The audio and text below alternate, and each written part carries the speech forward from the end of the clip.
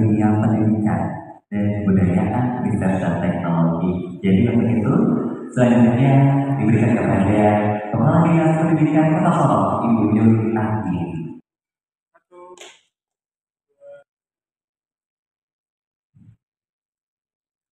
Silakan berfoto bersama. Sekarang lagi santai ya, boleh jempolnya atau salam cerdasnya boleh untuk kesempatan kali ini bersama dengan penguatan karakter di Kamis 20 Juli 2021.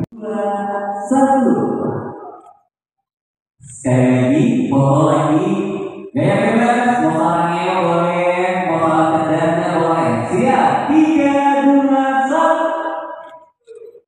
Sekali lagi video, ya. Jadi salam cerdas berkata. Boleh menguji bapak dan. Siap. Mau jadi video implementasi? Siap. Kamera roll. Tiga, dua, satu. Tepuk tangan mereka semua. Terima kasih pribadi.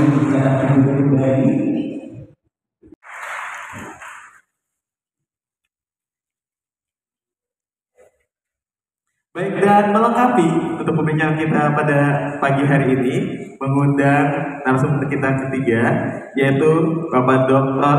Waskito Haji Suryo Putro, SPT MOR IFO Fit. Dan ya, beliau adalah akademisi dari Fakultas Utara tentunya. Karena di sini Bapak sekalian, jadi andaikan nanti Ibu Bapak ingin menyampaikan tentunya Ibu Kepala Pusat Penguatan Karakter, Bu Rusmita yang masih mengikuti kita, dan juga tentunya Bapak Ibu semua, Bapak Kepala Sekolah, Bapak Ibu Pengawas, dan juga Bapak Ibu guru yang saya hormati. Eh, terima kasih eh, sudah bergabung di dalam kegiatan yang luar biasa ini, yang tadi juga sudah dibuka oleh Pak Robert, yang tadi dalam paparannya itu sangat peduli dengan pendidikan yang ada di Kota Sorong dan Papua. Eh, kita berikan aplaus dulu kepada Pak Robert, Bapak Ibu semua. Terima kasih. Eh, baik, eh, Bapak Ibu yang saya hormati, lanjut Mas. Eh, saya akan berjamaah harus mengedepankan nilai-nilai ketuhanan yang berkarakter kuat dan berakhlak mulia serta unggul dalam inovasi dan teknologi. Jadi kalau Bapak Ibu lihat, nah ini adalah mandat kami, mandat dari Puspeka dan eh, pertama adalah penguatan profil pelajar Pancasila dengan enam dimensi tersebut dan juga melakukan pencegahan dan penanganan. Nah itu sering kali disebut dengan tiga dosa besar pendidikan, yaitu adanya intoleransi, kemudian perundungan, dan juga kekerasan seksual. Nanti kami akan coba jelaskan kenapa ini menjadi penting Bapak Ibu, kenapa ini harus dilakukan pencegahan dan penanganannya. Dan juga di situ ada inklusivitas dan kebinekaan. Next. Nah, Bapak Ibu, ini adalah satu quote dari uh, pendiri bangsa ini Bung Karno yang mengatakan tentu saja keahlian adalah perlu tetapi keahlian saja tanpa dilandaskan jiwa yang besar tidak akan mungkin dapat mencapai tujuannya. Maka ini nah kalau kita lihat ini adalah sebuah konsep dari Merdeka Belajar. Pendidikan berkualitas bagi seluruh rakyat Indonesia kalau di, tidak bisa dilakukan tanpa sebuah kolaborasi. Siapa saja kolaborasi itu di situ ada keluarga, ada guru, kemudian ada dunia usaha dan dunia industri, ada juga institusi pendidikan dan juga masyarakat.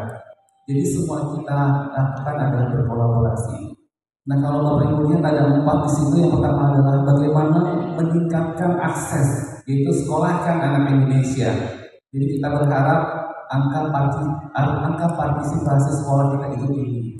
Kemudian dorong pembelajaran siswa, artinya kita harus mendapatkan uh, hasil belajar yang berkualitas. Kemudian bangun, bangun karakter siswa ini penting karena tanpa ada karakter yang baik, semuanya akan sia-sia. Tadi sudah dikatakan dibuat oleh Bung Karno ya, kita perlu mention karakter building. Dan juga tidak ada anak yang tertinggal, no life behind. Ini penting tadi Pak Robert mengatakan ada apa tertindas, jadi jangan ada lagi Pak Buat, kita harus berupaya untuk menghilangkan tidak hanya 3T tapi 4T tersebut. Nah, Bapak Ibu yang saya hormati, bagaimana cara mencapainya? Di situ ada infrastruktur dan teknologi, kemudian ada kebijakan, prosedur dan pendanaan juga penting. Kemudian berulang dikatakan bagaimana kesejahteraan gaji guru. Guru tidak lagi hanya memikirkan ekonomi, tapi dia sudah mulai memikirkan bagaimana dengan anak didiknya. Ini diperhatikan kita bersama. kemudian ada kepemimpinan masyarakat dan budaya, apa pun itu harus didekati oleh culture, harus dengan budaya. Tanpa itu kita akan sulit Bapak Ibu semua. Dan juga ada kurikulum pedagogi dan asesmen. Tentunya ini adalah indikator-indikator bagaimana kita mengetahui perkembangan dari siswa atau dari pendidikan yang telah kita pembelajaran yang telah kita lakukan. Next, kalau kita lihat Merdeka Belajar itu membuat sebuah arah perubahan sistem pendidikan di masa depan. Sebagai salah satu contoh adalah ekosistem. Jika dahulu belajar itu adalah sebagai kewajiban, maka belajar di masa depan atau yang akan kita bangun adalah sebuah pengalaman yang menyenangkan bagi siswa kita, tidak hanya siswa bagi kita sendiri, karena guru yang baik adalah guru yang penuh dedikasi untuk siswa-siswa. Kemudian sistem terbuka, kerjasama antar pemangku kepentingan. Tidak bisa kita e, membuatkan siswa atau sekolah tanpa bisa membuat kolaborasi dengan pemangku-pemangku kepentingan yang tadi kami sebutkan. Nah, guru juga tentu akan berubah. Guru dengan hmm, adanya teknologi sebagai fasilitator dalam kegiatan belajar. Itu yang nanti kita harapkan. Mungkin akan ada sedikit uh, perbedaan dengan situasi dan kondisi, tapi ini kita harapkan ke depan. Guru itu bisa bagaimana mengarahkan uh, siswa mereka untuk mencari sumber-sumber belajar yang ada, tidak hanya di alam, tidak hanya, tapi juga tidak hanya di internet maksudnya, tapi juga di alam. Jadi belajar tentang sejarah dan seterusnya. Nah kemudian adalah pelatihan guru berdasarkan praktik. Nah mungkin itu yang menarik. Kemudian sistem penilaian itu juga tidak bersifat sumatif atau mendukung, tapi bersifat formatif atau mendukung. Jangan lagi ada punishment kepada siswa-siswa kita, tapi yang namanya disiplin positif.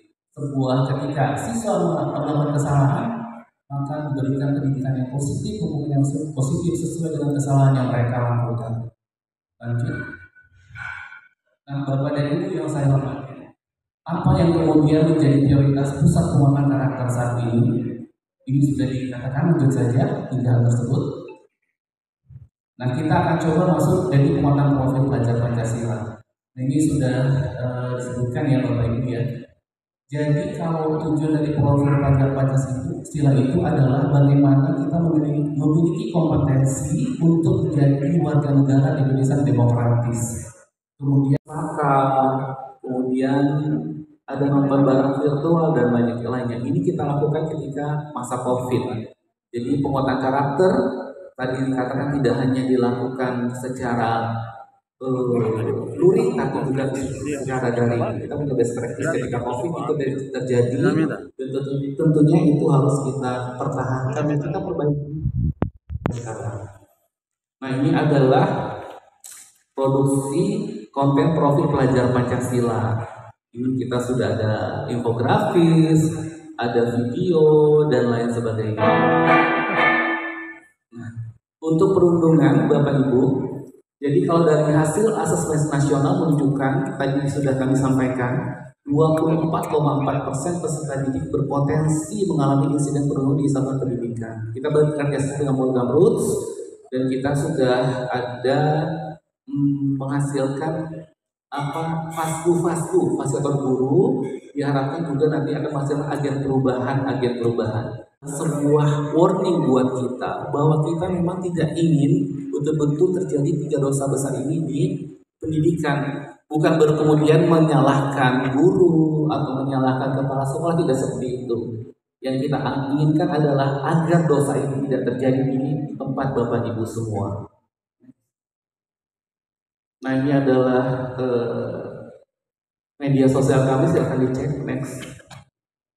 Ya mungkin itu uh, terakhir dari kami. Kami mohon nanti bantuan bapak ibu semua terkait dengan pusat kekuatan karakter tadi ibu sudah mengatakan akan menjadi yang terdepan, tapi itu semua tidak bisa dilakukan antara kolaborasi antara pusat, kemudian dari ada legislatif juga antara daerah, antara masyarakat dan juga dunia usaha dan dunia industri. Tanpa itu semua kita tidak akan berhasil untuk menjadikan bangsa ini lebih hebat lagi. Terima kasih demikian dari saya wabillahi taufiq wa hidayah. Wassalamualaikum warahmatullahi wabarakatuh. Selamat siang Bapak Ibu semua. Selamat siang. Baik, terima kasih Pak Tasi.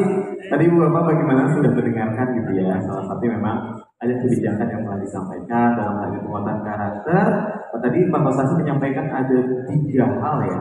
Pertama tentang profil pelajar Pancasila, kemudian tiga dosa besar pendidikan yang terdiri dari eh, terdiri dari toleransi, perundungan dan juga kekerasan seksual dan juga mengenai inklusivitas dan kebinekaan. Tadi kita sampaikan beberapa konten ya Pak Kosasi ya. Assalamualaikum warahmatullahi wabarakatuh. Shalom. Om Swastiastu, Namo Buddhaya, Salam Kebajikan. Yang saya hormati Bapak Ibu sekalian, pada kesempatan ini saya kalau tadi untuk eh, penjelasan itu sudah Pak Kosasi jelaskan. Saya kira Bapak Ibu sekalian sudah memahami itu semua.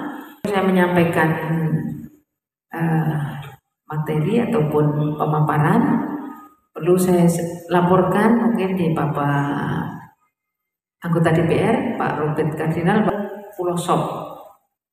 Nah, saat itu masyarakat di Pulau Sop meminta untuk uh, ada sekolah SMP di sana dan tahun lalu saya laporkan bahwa tahun lalu kita sudah membuka SMP di Pulau Sop dengan Pulau Ram. Nah, ya. Selain itu, Pak Menteri juga memberikan bantuan longpot Pak untuk Pulau Sop, Pulau Sop dengan Pulau Ram. Jadi guru-guru saat ini bisa uh, pulang pergi, pulang balik itu menggunakan lompot yang uh, dari bantuan dari Pak Menteri. Uh, kemudian